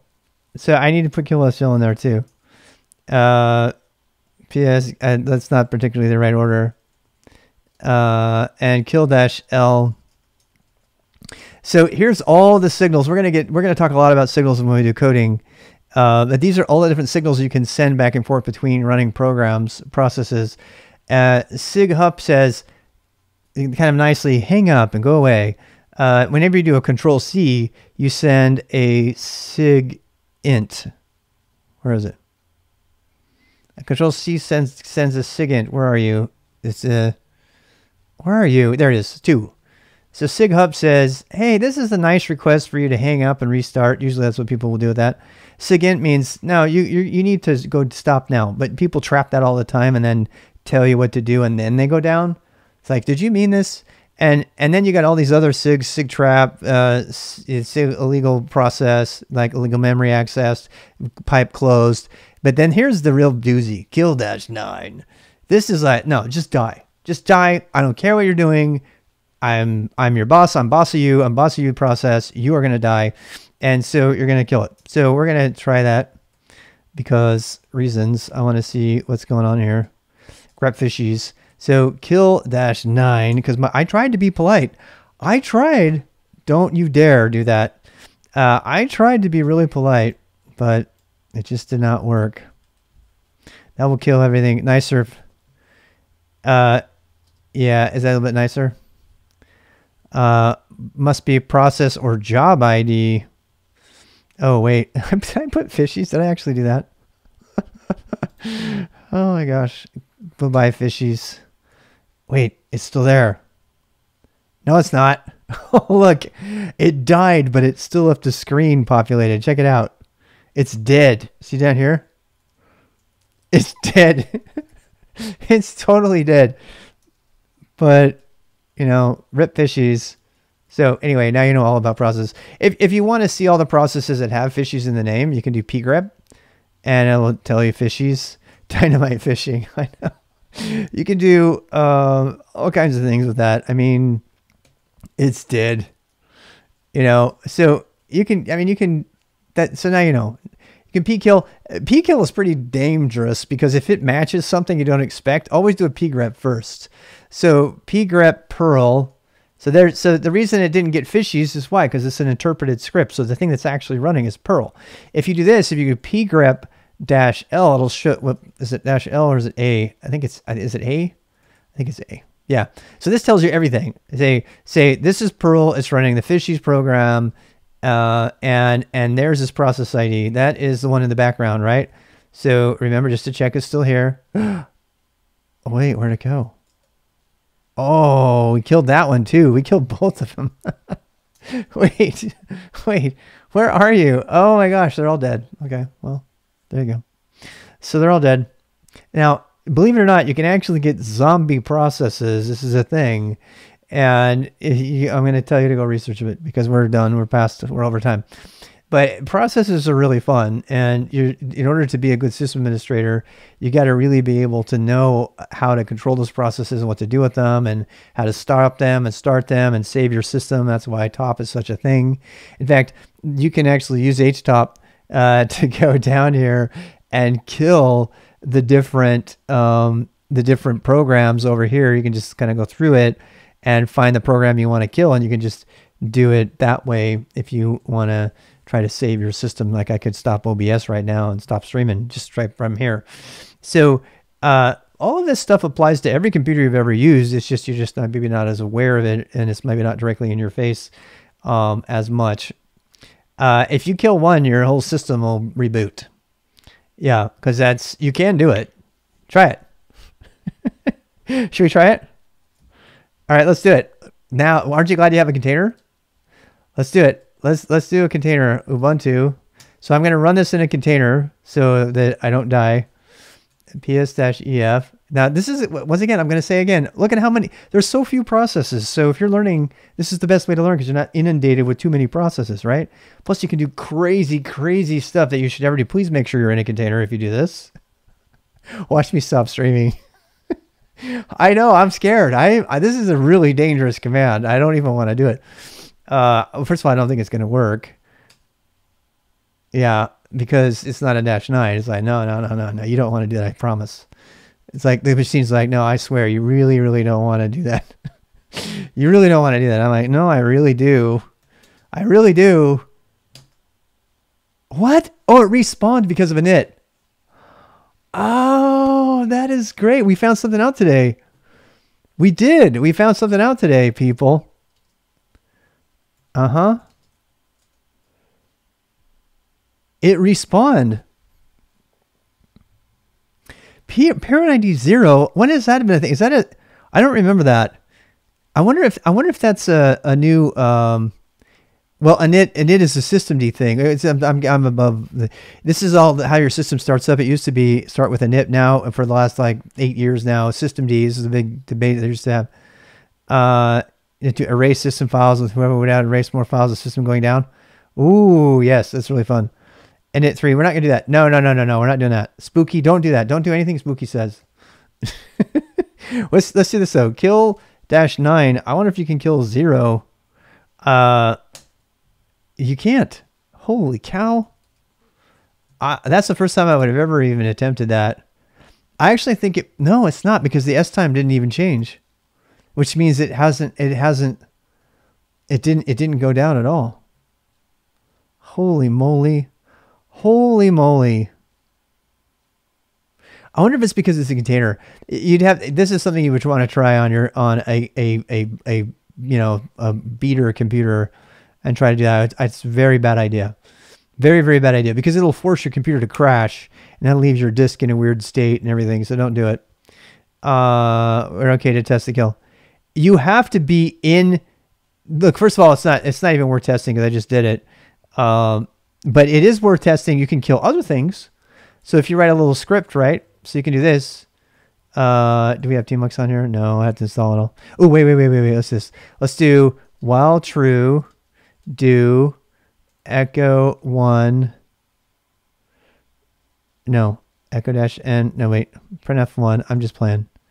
Printf one sleep uh, one done. And I'm gonna put that whole thing in the background. And see it's printing ones see? It's printing ones. No matter what it'll still keep printing a one even though it's in the background. So how do I kill it? This is a great way to practice your containers guys. Yeah. One one one one. It's still in the background so I can foreground it and kill it.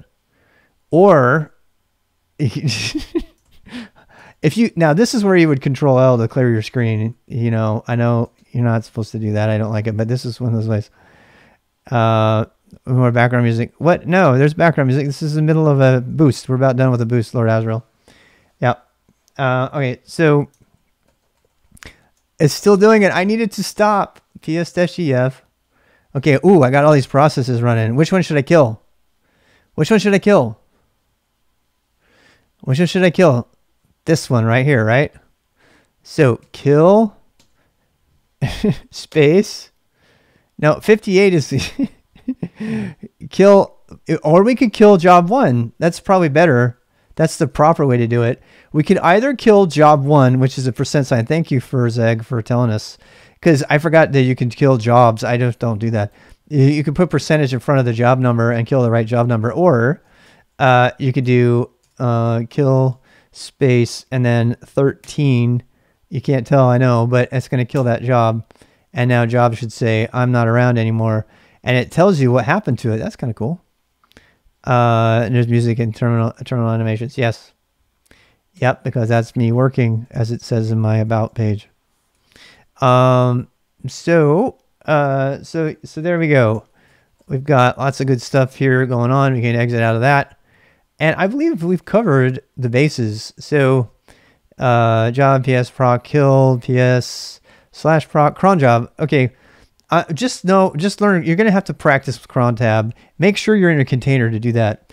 Okay. Uh, a cron tab is something that allows you to put uh, a job that runs in the background that starts up at a given time.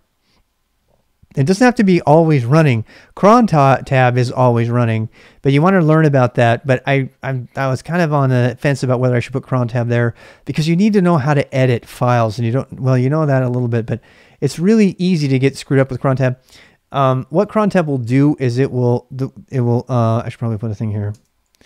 Um, so uh, edit a file. Let's say so. I'm going to say use. Uh, cron tab. Uh, all right, I'm just gonna have to show you cron tab. Oops, cron tab dash L.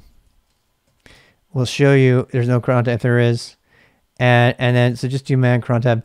It's actually better for you to have it in a file so you don't blow it away, and then load it from a file. I'd really strongly encourage you to do that. Um, so yeah, or else use one of the systems.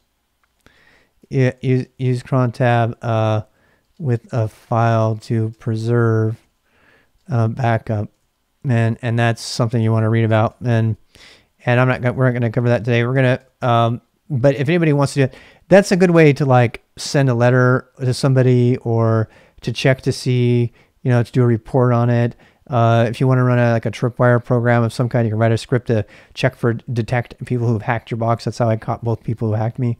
And if you can you do all kinds of fun things with it.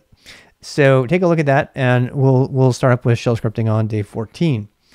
Um, I am gonna leave for the night. So on this beautiful Friday night, so I'm gonna give all this attention to somebody else over here. Um, yeah, you'll use cron tab a lot uh, at work. Now, you probably want to use Etsy cron tab, uh, and I just don't know how much to go into that with a beginner. Uh, again, the idea here is how you would possibly have jobs backgrounded, and I just wanted to mention cron job cron tab uh, uh, is is just a way. I wanted to just mention that this is one of the ways uh, to put something in the background. I didn't want to go. It's not an exhaustive lesson. You know, let's let's actually put that. Um, uh, editing your uh, cron tab. Uh, let's see. Cron tab uh, is another uh, topic.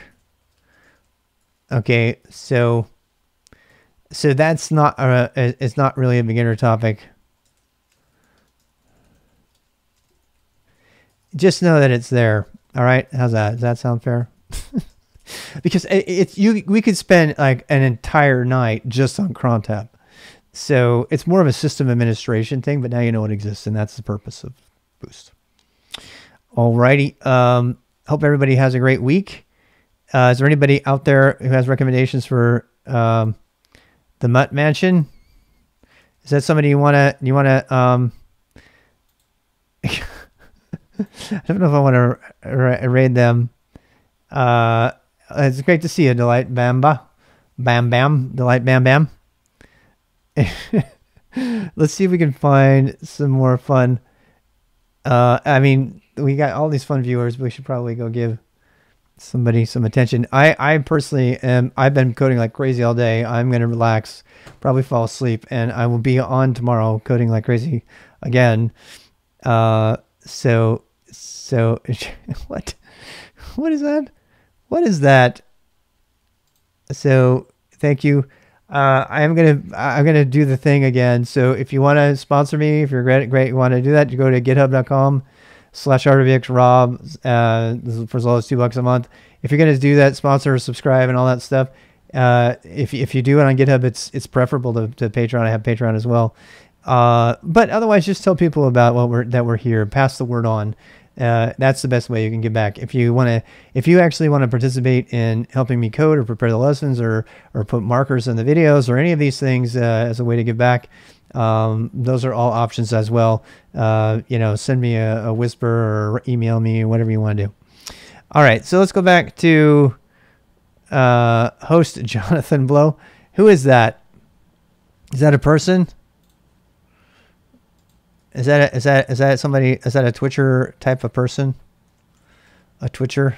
Is that? Is, can we call him Twitters? Oh, he's a programmer. Is he on right now?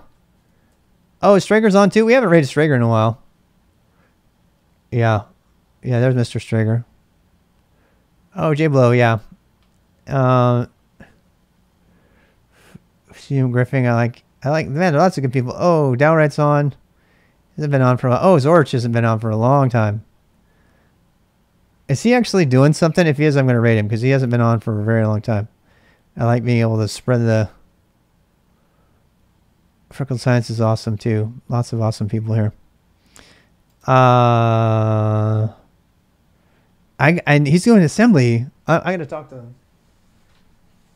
I, I got to talk to him because changed the entire terminal experience. It's amazing, isn't it? It's like, yeah, it's a small thing. Um. Uh. Okay, so let's. I'm gonna turn him on here. I mean, you know what I mean. Worked your magic on this. Worked your magic. Child, oh my god.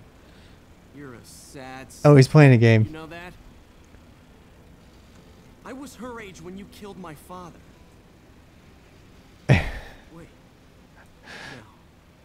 He's definitely playing a game. I mean, we can rate a game. Is there somebody who's oh not normal? Threat head. Ooh, cyber insecurity is here. I can't raid him. You know why? Because he banned me. Day to day basis, but what the ultimate goal is. This is how he. This is why he banned me. By the way, this is the reason this dude banned me. I'm gonna keep showing this every time. I said CISSP is absolute shit. Which I probably shouldn't say, unless you're going into IT management. Uh, I completely agree with that. Uh, I cannot uh, disagree more with the structured training path. Objective evidence to the contrary in both project and comprehensive. Counts up to 10 sponsors from corporate backing the stream so far. So that's why they had enough. I was calling them out for all of his sponsorship and for telling him that you can you don't need to pay for a CISSP and so he banned me. He banned me for calling him out for his. He's also been he's also been kicked off Reddit for sponsoring for trying to steal stuff. You guys just watch out for that. There's so much of that on Twitch that's happening that no one's even telling you about. And I will always tell you if I'm being sponsored. Try to Azure try to sponsor me. So uh, I'm gonna skip. I, I he was just on, so it just came across my. I had to say it again. I'm gonna say it a lot. You guys are gonna get tired of me hearing it because I'm gonna keep calling him out on it because it's not cool. It's not cool. It's not cool to lie to people because you're getting paid and tell them that something's good, but it's not. That is, it's particularly on Twitch. If if you're being, if it's an advertising thing, that's a different thing. If you if it's an advertisement and you know it's an advertisement, but if you're being paid under the table to tell people that this is the only way to do it, that's downright unethical. All right, so can we find somebody happy to to, to stream? Just, I, this is the hard part. I don't like rating I know what I don't like it because it's so hard to find good people. To, I mean, there's so many good, great people to raid, but I like to, I, I like to, you know, I don't know, I like to spend a little bit more time. Uh, st- we'll we'll we'll, we'll raid Strager. Steve, I haven't. You know what? I rated Strager last, so let's do Sam Griffin. He's he's really awesome too. Uh, fix some bugs on some open source stuff. Let's do that. Uh, I mean, Sam Griffin and I disagree on you know some tech things, but other than that, he's awesome. I mean, I well, he's fixing a drink, of course. fixing a drink. I just cannot win. I cannot win. Who's here? Who's this? Wait. Oh, Freckle Science. No. Uh, Apple 40 core desktop coming. Oh, Linus of Tech. Yeah, we're not raiding him. Uh, I mean, he's a nice guy and all, but um, compiler partly. I would almost raid him. Uh, I, I, I, I, I just, I wouldn't have a beer with this guy. he's probably fantastic coder. Um, I, I there's a there's only I mean I'm sure people feel this way about me. There's a few people on on on Twitch that I just can't stand to listen to them, and it has nothing to do with them as a human being. it doesn't have anything to do with with with how smart they are. It's just it's just a personality thing, and I absolutely know that there's people who think that about me. So and that's okay. That's totally okay. Uh, Jill Jill's. Wait, why why don't I not have Jill on my my thing? I should probably have her on on here. I th- I thought I was maybe I'm mixing them up. Oh, I've never followed Jill. Oh, drawing comics. Ooh. Ooh, I like this a lot. I want to follow. this is awesome. I want to follow this. My uh, my wife's. Uh, all we need is uncensored beer talk with Rob. Not right now. this is still a video that's going to go on YouTube. So, you know what? Let's go ahead and rate her. Be very quiet. Be very quiet. We're going to sneak up on her. I love doing that. I can't do the Elmer Fudd voice, or I would go for it. Nobody even knows what Elmer Fudd is. Raise your hand if you know Elmer Fudd.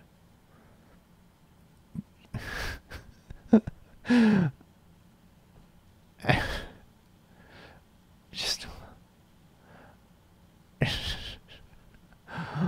all all all how many how many people we have left? 43 whole people 44 whole people 46 people are still hanging on.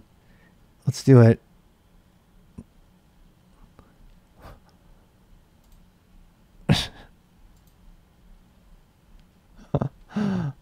Uh-huh we're doing the twitch there he comes Arabic trade.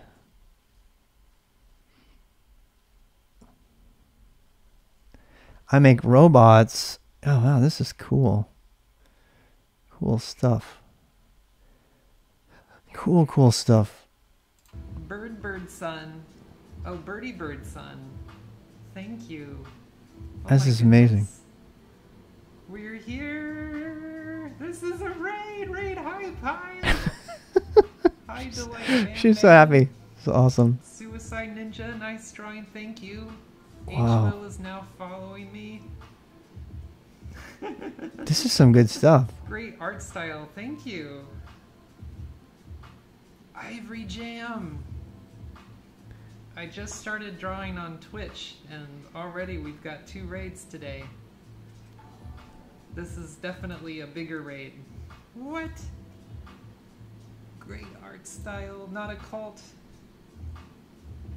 I've seen it somewhere before, but can't place it. Um,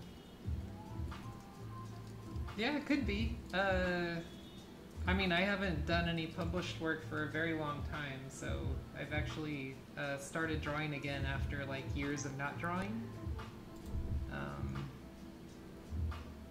my son does game art. I'll have to have him watch you. Nice. It's been a while since I saw some good comic. Excellent. Um, I get. I mean, I do draw like a lot. Like I do have a lot of influences that are probably recognizable. So you might be responding to that, maybe. I saw another follower, but I missed who it was. I'm sorry. Um, I was just about to switch pens because I was trying to ink this background with a fountain pen and was getting a little aggravated. So I'm gonna switch to a Micron. Man, this is so cool. I, I have to go though. This is so cool. I'm glad we found Jill. Wonder if this. All right. See you guys.